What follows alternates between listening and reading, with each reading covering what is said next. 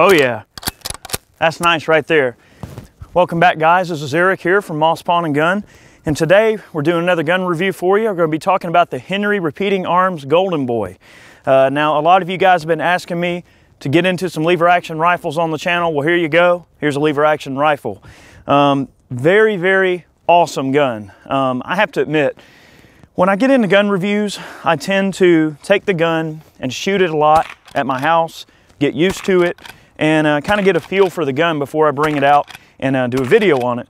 Well, uh, Saturday I got the rifle in. I went home and I shot about a thousand rounds of Federal auto match out of it because it was just that much fun. You know, I'm a 22 kind of guy. I really enjoy 22s. I grew up shooting a lot of 22s. And this thing just lends itself so well to just loading it up, shooting it, and enjoying it. Just an awesome 22. We got a gorgeously fitted walnut stock, brass butt plate. Uh, the receiver itself is aluminum, uh, but with the aluminum it has a brass uh, type cover, polished brass. So it's not solid brass, but you do have aluminum receiver. Cuts down on the weight a lot, not to mention the cost of the rifle, which is nice. Uh, these things can generally be had for around four bills, which in my opinion is an excellent value. You've got an octagonal barrel. It's tubular fed. You've got buckhorn rear sight with a brass bead on the front, which picks up real nice. Um, some people are not a fan of buckhorn sights. I personally have been working with this quite a bit. I don't mind it. Um, the throw of the lever is very smooth and positive. I mean, once you get down to, you know, get the muscle memory down, you can really work this thing fast and it's very intuitive. Um, it, you don't really feel like you're, you're forcing yourself to work something. It's just, it feels very natural and intuitive once you get used to it. Uh, they offer this particular gun in two different varieties. You've got the Golden Boy, which you see here, and they offer a Golden Boy Youth model, which is a lot smaller. This particular rifle is right at home for a full adult shooter or you know a larger child. If you've got somebody that's a little bit smaller, you might want to consider the youth model. Uh, we're going to load the gun and uh, shoot it some more. Now in the intro there, what you saw was a couple of tracer rounds. Uh, those are from Piney Mountain, and those are high velocity tracer. So I don't know if you noticed there, but the magazine, it, it uh, the tube actually releases just like any other type of tubular fed rifle. You've got a notch that interfaces, rotate it, lift it out, remove it, make sure the action is shut. Of course, verifying that the chamber is empty, hammered down and on half cock. The gun does not have a manual safety. It's got a half cock, which is the way it's supposed to be set up. Any lever action that's got a cross bolt safety or button safety or little bull crap on top of the gun, you don't need all that. Half cock, that is the intended safety for a lever action rifle. Remove the magazine tube. There's a window right here with a cutout for the rim. Drop the cartridges in with the nose facing out, the direction they're gonna feed obviously. And uh, we're basically just gonna fill this little guy up. But this, this gun has just been a wonderful shooter. I've really been enjoying it so far. Uh, we are going to be firing a variety of ammunition out of it for you today, uh, Chad and I both. And we're also gonna shoot some groups for you so you can see what kind of uh, inherent accuracy potential uh, we have to work with. You saw the tracers. We're gonna run the auto match here. And uh, I've got some sodas and clays and all kind of random stuff out here we're gonna shoot for you. And then we're gonna turn her over. Um, it holds 15 rounds plus one, actually 16 plus one. That was 16 rounds. I'll verify that count in a minute. I think it holds 24 shorts, which is kind of cool. So replacing the magazine tube, uh, rotate it back into lock position, cock the rifle, hammer's drawn back when you, when you cock it, it's ready to shoot. If you're gonna walk around with the gun with a round in the chamber or whatever, thumb the hammer down, release, drop, and you're already in half cock. You want to shoot it, half cock or a full cock, you're ready to shoot. All right, I'll tell you what, let's see if this auto match will knock down our auto popper here. See if he'll fall down. Oh yeah. Ah, almost.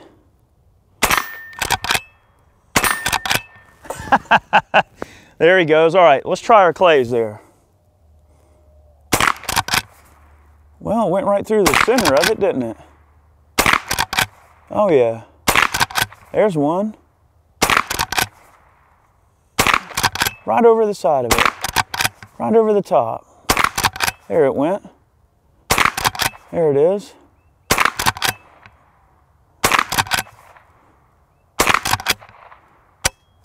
All right, not so bad. Uh, I hit all those other ones that just went through the center and didn't break the clay. Uh, but that little round carries enough energy to knock that big old plate over, which I was pretty surprised about. Uh, we do have some sodas there on the back, so let me uh, reload while I'm talking here. We're gonna run another tube of auto match, and this time I'm gonna count the rounds for you guys. So let's see, we're at one, two, three, and 15, 16. 16 rounds of 22 LR with one in the chamber makes 17 total. All right. All right, we got topped off with auto match. Let's, uh, let's take out some of our sodas down there. We've got standard 12 ounce soda cans. Let's see how well they blow up with this lead nose bullet hitting it. Hopefully I can hit them. We're about 20, I think 21 or 22 yards away, so not too far. You know, this is squirrel distance. You know what I mean?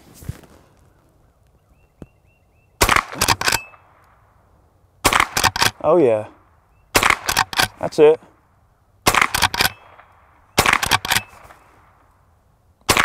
Right over to the side there.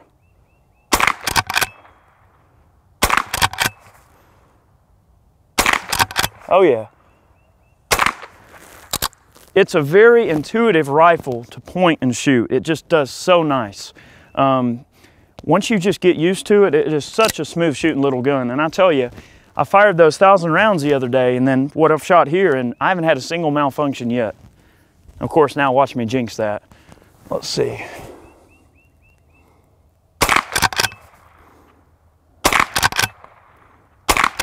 That's it. Oh yeah. Oh, knocked him over. Okay, good. Let's see if we can hit him falling down there. Out of ammo. All right, I'll tell you what. We're gonna take a moment to reset the range. We'll get be right back and we'll run some shorts. How about that?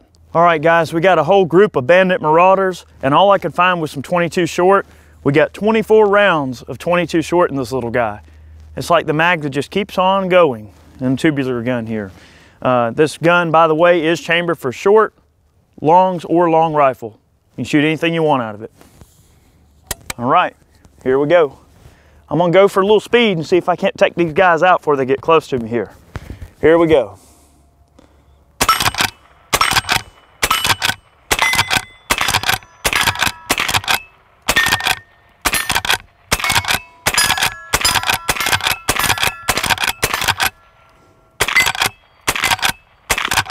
Oh yeah.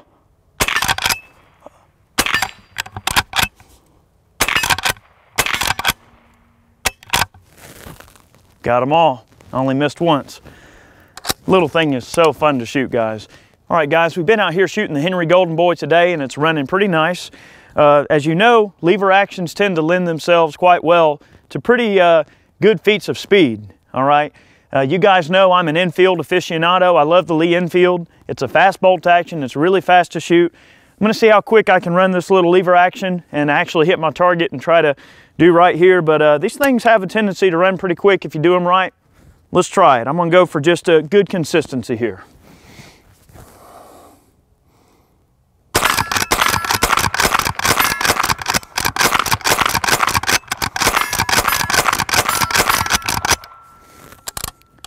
Kind of one of those muscle memory things. Once you get down, uh, down to it, if you look at the slow-mo, you'll see that the hammer kind of drops as the bolt goes forward. You get the muscle memory down and get it just right and get your, get your timing just right, you can really empty one of these uh, pretty dang quick. I'm gonna try one more time. That's not horribly shabby. Let's try again. All right, guys, we're gonna try this again. We got an 18 by 24 inch gong at 15 yards.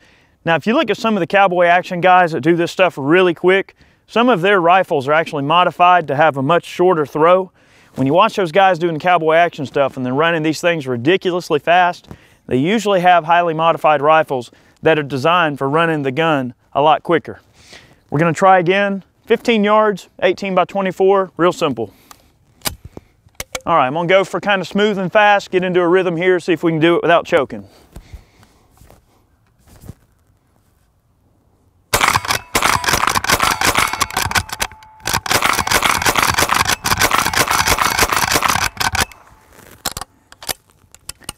Can certainly do it. It just takes a little bit of a little bit of practice there. I think on a couple of those, I wasn't bringing the uh, lever back all the way to eject the case. And what was happening is I was short stroking it and then putting the uh, fired round just back in the chamber and then striking it again. So that's what was happening there. Again, muscle memory, guys.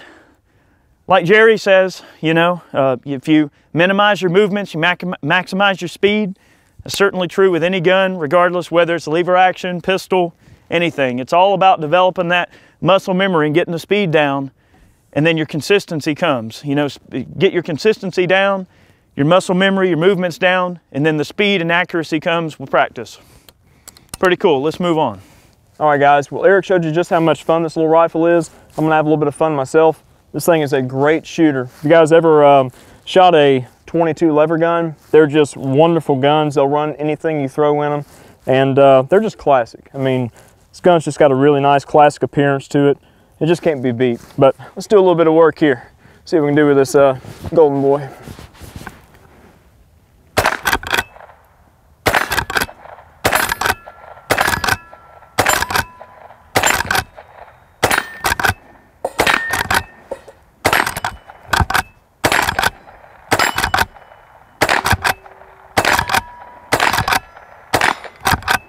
All right, let's see here. Let's go for those, some of those sodas on the ground. I got a few rounds left.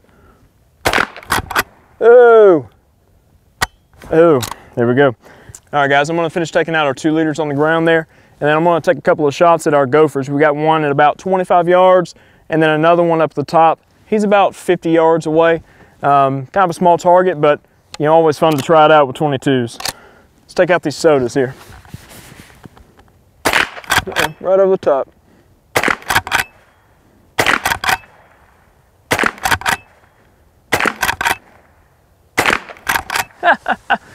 Things are still spraying.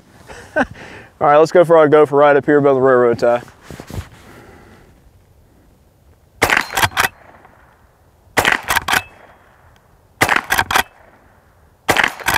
There we go.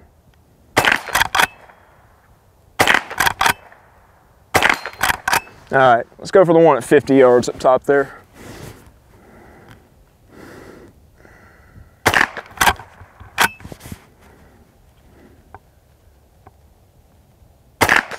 There we go. Right over the top of his head. Oh man. All right, let me reload. Get back on that gopher there. He's not getting away from me. All right, let me see if I can take a few more shots at our gopher up top.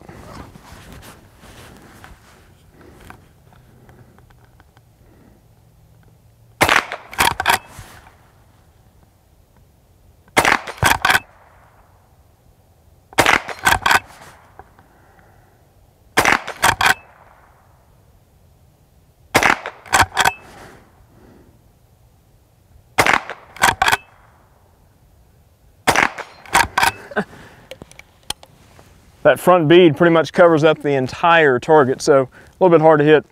Take out some of these sodas on the back uh, railroad tie here, and I'm gonna move on to some tracers and uh, shoot those a little bit longer range.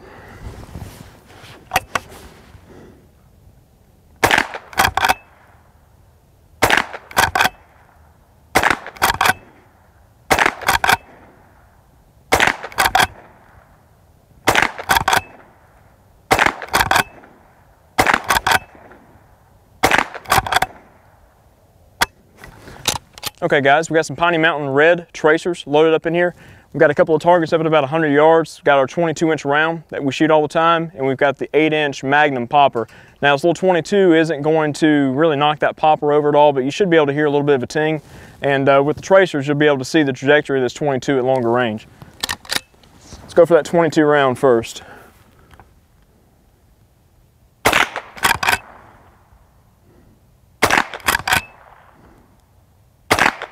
Right over the top, aiming a little bit too high.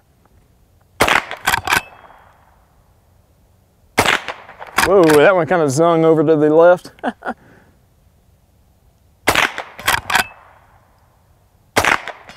All right, let's go for that eight inch Magnum popper to the left there.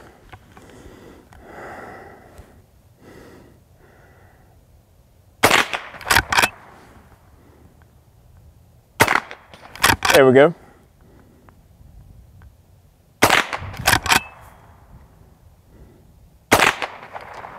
You know, these tracers aren't the most consistent as far as accuracy is concerned, but you can really see that 22 arc out there at 100 yards. You can see the trajectory pretty well. Okay guys, well we moved up to the top of the hill to the bench here and yet again, we forgot the shooting rest. So we've got a hasty rest here. But anyways, we're gonna shoot 10 shots of Lapua Center X, 50 yards, and we've got one of the little champion gopher targets. The target I'm gonna be aiming at is a one minute orange dot with a three minute circle around it. So kind of a fine point of aim for iron sights, especially like this with this big brass bead on it. And I'm gonna do a bullseye hold. So the rounds may not land exactly in the center, but give a good indication of how well this rifle will group with quality ammunition. And this uh, Lapua is known for grouping very well. Out of my match grade 1022, this stuff consistently throws about a quarter inch group at 50 yards. So great stuff. Let's give it a whirl.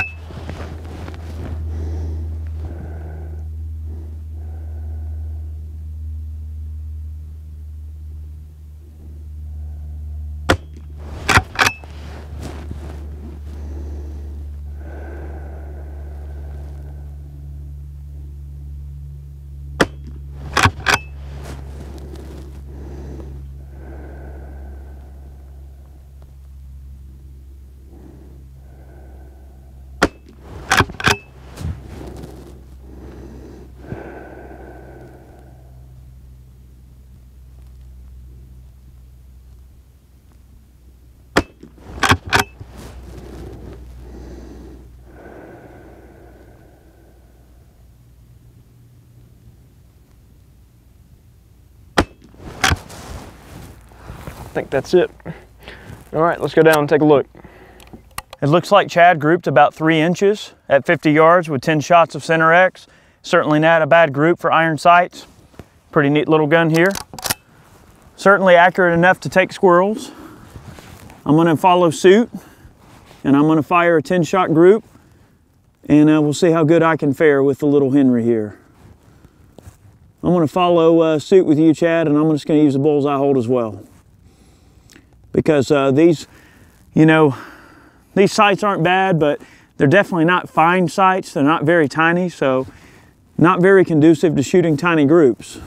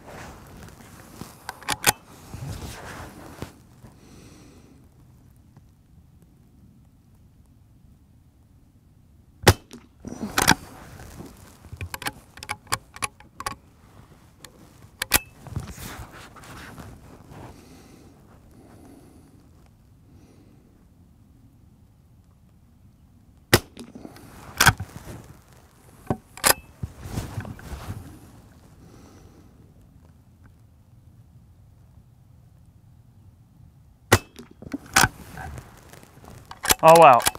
All right, let's see how we did. Well, looking at the group that I posted there, about two minutes, certainly not bad for 50 yards. We are using some pretty expensive ammo there. Um, we'll probably end up doing some more accuracy work with the gun in the future, but uh, let's move on. I'm pretty impressed with the accuracy so far. That's certainly a squirrel slayer. I don't care how you run it. You're gonna take down any squirrel you can uh, see with this thing inside of 50 yards. So uh, certainly not bad, let's move on. Well guys, our little Henry Golden Boy has been running really nice today. We've seen the uh, accuracy potential at 50 yards. We've seen a little bit of practical accuracy testing. And I tell you what, besides accuracy, sometimes it's nice to just get some, some soda cans and some clays and just have fun behind the 22. And I think that's really what uh, this type of firearm, for me at least, embodies. Is uh, it's, it's good classic American craftsmanship. These are American made, in case I didn't mention before. And uh, it's just an awesome little gun. You know, it's something you can take out to the range and people go, wow, look at that. You know, that golden receiver just shining and just looks so cool. And, you know, I've never been one for, for rifles that really exhibit like that, that kind of like classic beauty as much. I've always been into more like military surplus and European military stuff, which don't get me wrong, they're beautiful guns in their own right and they're works of art. Um, but in my opinion, a rifle like this really is kind of like a little miniature work of art that you can take out and shoot and enjoy. Uh, we're going to shoot a little bit more here. I'm going to go for some speed. Um, I'm going to run tracers for you here close range. We'll finish her out here. But uh, little golden boy's been a real charm to shoot. I hope you guys have enjoyed this video. Let's, let's do it.